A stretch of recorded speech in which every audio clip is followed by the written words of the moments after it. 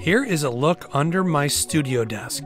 So this rack here, this has mainly all compressors in it, a lot of DBX, the Audioscape Decomp, and the Dynamite compressor. And then moving on, we have all of my EQs, including the 500 series and the Ward Beck and the Console 1 fader. Here is the SSL X-Desk, the Audioscape bus compressor, the Victor custom sat station, all of my converters, and the patch bay.